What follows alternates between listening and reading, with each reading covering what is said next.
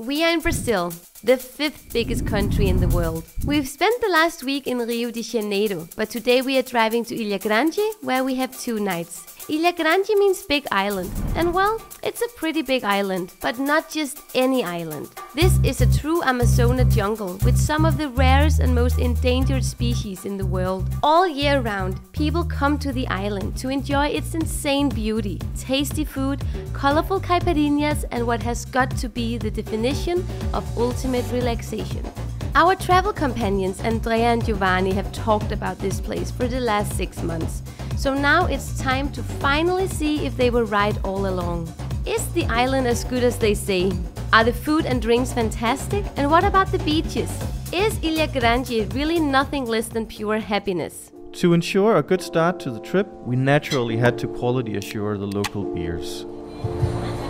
Not bad.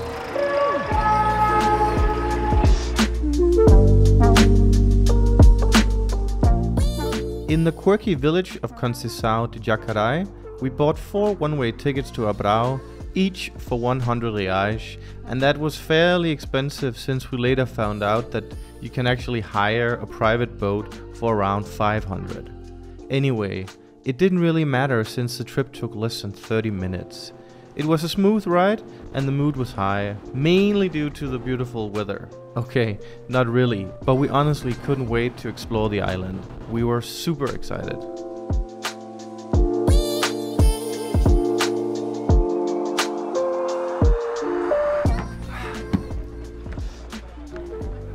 What's up, my boys? Welcome to Ilha Grande. We finally made it to the most tropical island in the world. Well, at Well, least well, maybe. the most tropical island we have ever been to, for sure. You guys know we're on a big Brazil trip, and this right here is the Highlight. Well, we the don't part know of it's the part of it that we've been looking forward to the most. because on this island you can't enter by car or by airplane. And there are no cars driving around here either. No. So this is civilization circa 300 years ago. You get here by a big boat, and then once you are uh, left on the pier, the taxi boat from the hotel are picking you up. This, of course, depends on where you stay, but getting around is almost always by taxi boat. We decided to book a hotel close to Abraão, which is the main town of Ilha Grande. That way, we have plenty of options, food and drinks wise. So we are doing a six, seven minute little boat ride to the final destination, which is our hotel, Asalem. This is where we live. Is that the ball? Wow. Wow. I don't want to leave this place, and I already haven't set my foot on it. Este é o paraíso autêntico? Eu acho que é um pedacinho dele. Oh wow. Nice now. this looks incredible. Especially because we have the honeymoon suite.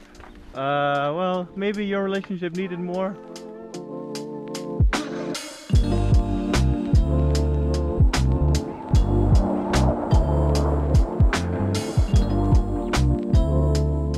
Excited to finally be at the hotel, we immediately checked into our rooms. Hotel SLM is not a cheap place. In fact, we paid 1300 reais per night, which is much more expensive than your average place here. Most people stay at the so-called pousadas, where you get a basic but clean room with the essential amenities. Rooms can be as little as 160 reais per night, almost 10 times cheaper than our hotel, so you can really make your Ilha Grande trip cheap. Anyway, we chose the expensive solution because of the photos and reviews, but soon we realized that price didn't exactly correlate with the value. Sure, it was a nice hotel, but the room was very basic with a cold feel. It didn't exactly ooze of warm jungle vibes, and the attention to detail was underwhelming. The safe didn't seem very safe, and somehow there were two AC units installed, but only one of them worked. On the upside, the minibar was packed with all the good stuff, the bed was comfy enough, and we had no problem figuring out how to get cold or warm water in the shower. Overall, we did like the hotel, but mostly because of the common areas, service, and location.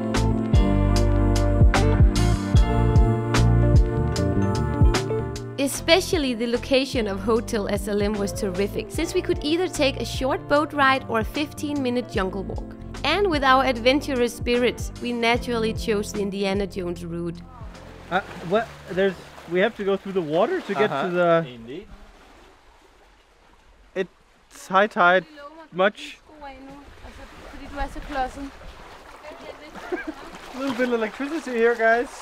If you aren't awake, right around our ears right now, there are tons of, of some of the most poisonous snakes in the you world. do. You do have a lot of them here. Actually, the neighboring island, but you don't visit it as, an, as a normal tourist, has the highest concentration of poisonous snakes in the world. Do you remember when we went to Koh Samui and we took a little boat to a desert island? We thought, and there was a little hotel on it, and we said, this is what we want to try to do in the future. Now we're doing it. We are now going to the main city, ci- village, town. Uh, it's called Abraão. It has uh, 1900 inhabitants, so it's actually not tiny, tiny.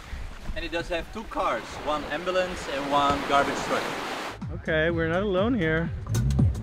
Our first impressions of Ilha Grande were positive. We already loved it here. Having no cars and roads truly added to the castaway island feeling that Joen and I love so much. We were pretty impressed with how developed this part of the island is in terms of the selection of restaurants and places to stay. But it didn't take away from the island feeling. Somehow we felt unusually free here.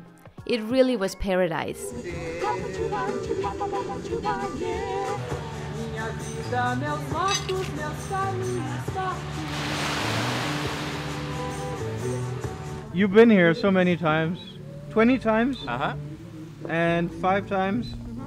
What makes this place so special beyond the obvious? Um, you're on a small tropical island paradise. You don't have any roads. You just walk around. You have Brazilian music playing. People are very friendly. You have nice food, good drinks. Just paradise. We even have amazing weather. Well, maybe not. Quick little note to the food here. It is amazing. Yeah. Of course, they had picanha on the menu, so we had to pick it. But usually, I don't expect much of food when you're on islands, especially not small islands like this. Very much pleasantly surprised. Would you guys say that this is for the middle class or for the more wealthy Brazilian people to come here? Middle class. Middle Actually, class. the wealthy they come maybe to Ilha Grande, but not often. They stay at a coastal area where they have the private condominiums with big uh, villas, yachts, and that kind of life. So it's not it's not considered expensive to go to uh, Ilha Grande. No. Pra esses olhos sem te ver é como o chão do mar. Rádio, a pilha, a TV, só pra você escutar. A nossa música que eu fiz agora. Lá fora a rua vazia chora. Ah,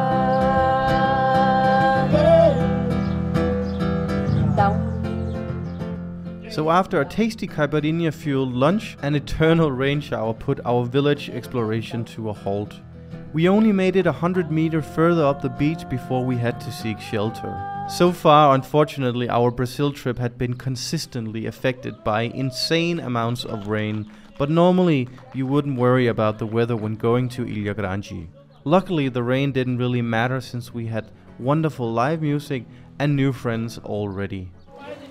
You have to smile, Giovanni. Smile. The weather forecast says full rain both days. I'll check back with you later. It is beautiful. I, I did a, vo- a Volta Ilha, the whole travel to the island. I made it in the uh, raining time. It was quite beautiful. So, of course, we had hoped for good weather on this trip, but our new friend Villian assured us that Ilha Grande is just as amazing when it rains.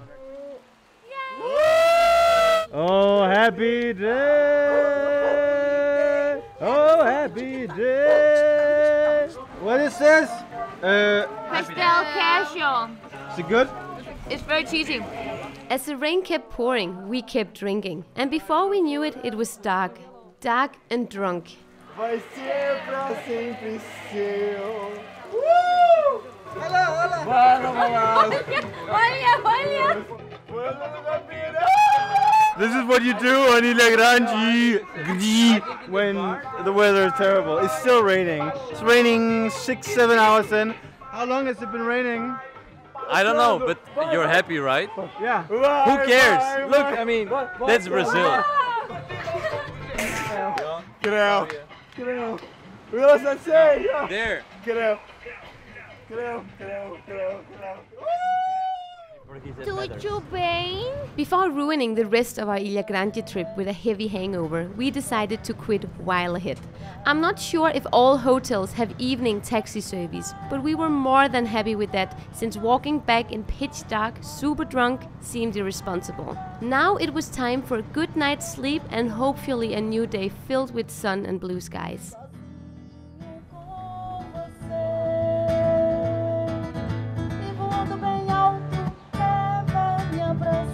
Pelo espaço de um instante. There you are, my friends. How did you sleep? Um, I slept Thank You like slept like a baby, but like a baby. with a massive headache. We're a little hungover today, but even though it's raining and the weather isn't like as we expected, it is amazing to wake up to this breakfast and consuming it with this view. Uh, it should dry up within the next uh, hour or two. So maybe we can go out and explore a little bit more than the selection of caipirinhas and beers here. Such great hiking shoes. Hola. Who's a good boy? Breakfast Corona. Why not? It finally cleared up, so we are out of the gates. Now we're going on a little hike to uh, where are we going, Giovanni? Another beach Another beach. in the jungle this time. Okay. And is this to mainly check out uh, if the caipirinhas are different? Uh, partly. I don't think people really walk here much. So this is an excellent place to meet some of the most venomous snakes in the world. Here on the island, there are no hospitals, so if you get bitten by a snake, you most likely will die. Whoa! Whoa! Whoa! Is this the end? Well, I mean, I think this is continuation of the road, but plants start to take over already. So Unfortunately, our tour guides didn't know what they were doing. Excuse me, Mr. 20 times here on. Uh, I love new discoveries, so that's what we are doing today, right? To much appreciation for me and Joen, we had to abort the snake walk adventure. Instead, we decided to go on a boat adventure. tudo bem? Boa tarde. O seu nome? Riquinho. Iquinho. What a delicious boat we are on, huh? This was what we were looking forward to the most. And the best thing? It wasn't even raining. Well, at least not the first three minutes of the trip. Luckily, we were able to escape the rain by riding like the wind.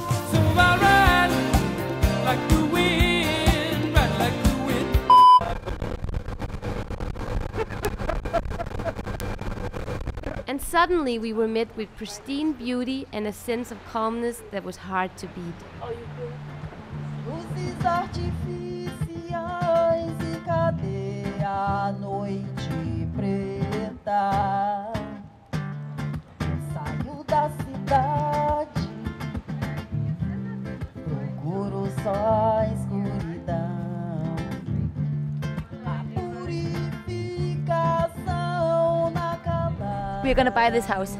Yeah, and it almost looks like it a looks Portuguese. Like it's Portuguese, yeah. Portuguese it, house. It looks like an Alentejo inspired house Yeah. with the blue around. Already we had a greater understanding of the scale of Ilha Grande. This really is a big island, but also incredibly beautiful. We could only imagine the beauty when soaked in rays of sun. Anyway, it was time to swim. Swim in food. We saw a restaurant from afar and decided to go. The place was called La Isla Restaurant, and we were hungry for fish and caipirinhas. Caipirinha, caipirinha, caipirinha. The cool thing is that you just take the boat wherever you want to go, and then you have restaurants just spread out all around uh, the island. So you can't really just walk to to uh, the restaurant you want to go to. You need a boat. I gotta say, the caipirinha here is um, top three so far. Oh, what are we having here? A dish that you have to try when you are in Brazil is moqueca. Moqueca comes in many different varieties. Today I'm having one that is made from fish. It's super saucy It's super delicious and it's very it's a fresh dish to get. Normally they will buy fresh fish and use it from with all the local uh, vegetables like onion, pepper, capsicum, and then they will let it simmer for some time until the fish gets all smooth and delicious. And it's probably one of my favorite things that I've had in Brazil so far. With our tummies full of fish and caipirinhas, we set sail towards the very north of Ilha Grande. Are you kidding me? Wow. Oh my goodness. Uh, Amalie, Yes. they have a yacht party. We're joining it now. That would be cool, huh? Can we drink with you?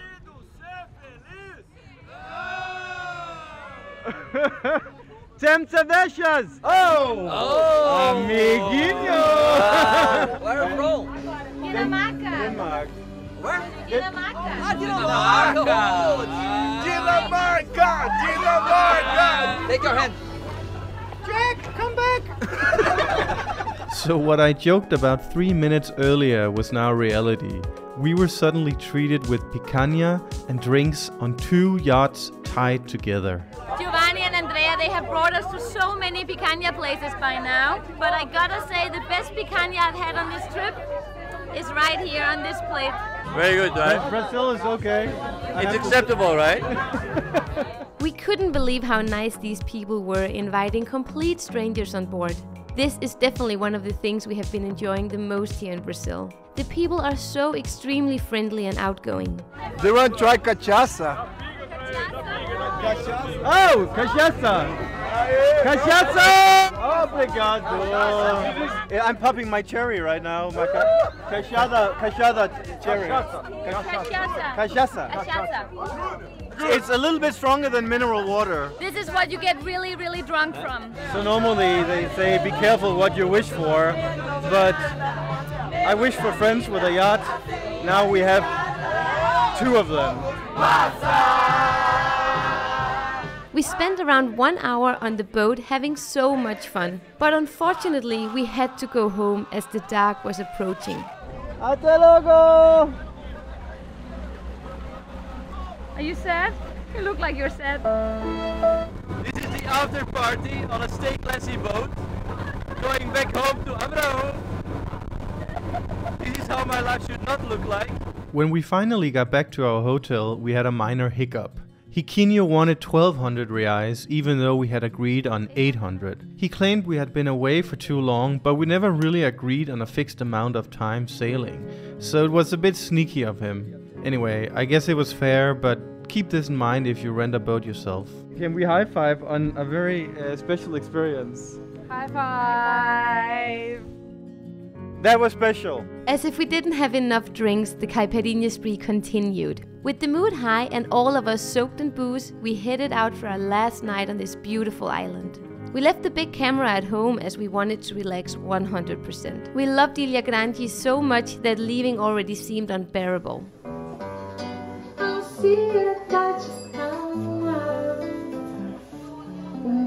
We had an amazing last night, but the following morning was a different story. Apparently, Giovanni and Andrea were born with superpowers, so they insisted to leave the hotel already at 9 to go on a small jungle hike. I hate you. Morning. However, the truth was that we were about to cross half the island. Literally. It's very pretty. We're actually pretty high up. I, I hate mean- our friends. What, what, what do they don't they don't know us? They maybe they think you had a little too much of the good life. Now you need to lose some, burn some calories. You know. So far, I've burned around three caipirinhas. Giovanni kept talking about this beach called Lopes Mendes with crystal white sand. You know, the kind of sand that squeaks. I specifically said no jungle hiking more than 15 minutes.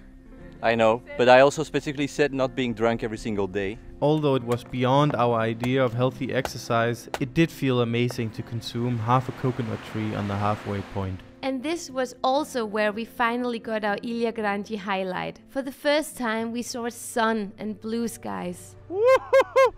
Oh, Amalie, Sun is here. sun is here. And the color of this water is finally being illuminated. You know. The last week we haven't seen the sun. Now she's here, baby. Finally, check completed, and we are s- are surrounded by huge birds. What is it? Is it eagles or what is it? I think it's vultures. Okay, that is the biggest bamboos I have ever seen. Wow. One of my childhood dreams was always to build my own little bamboo house in the middle of the jungle.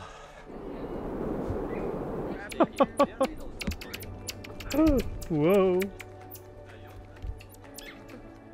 Hey. We had conquered the jungle and made it to the final destination, Lopes Mendes.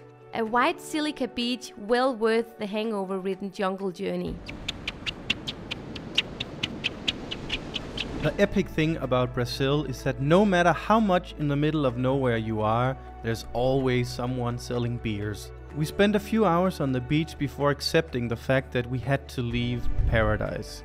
Ilha Grande already had a special place in our heart. Amalie and I rarely have problems leaving places behind, as we always look forward to what's next, but in the case of Ilha Grande, we felt sad. Even with the constant rain showers, we absolutely loved our stay. Two days was nowhere near enough, and we had still not seen half of the island. We even missed the iconic coconut tree. Luckily, there's always an airplane waiting to take off. So, what is the verdict? Well, the food and drinks were in fact fantastic. The beaches are also amazing, but some sun is recommended for that. The main takeaway, however, is that Ilha Grande is pure happiness. We are coming back, and next time it will be at least a week. We are on our way back to the hotel to check out and go back to the mainland because we're going to Paraty. It was too short, but we'll be coming back soon. Obrigada por vídeo. See you in Paraty if we make this alive.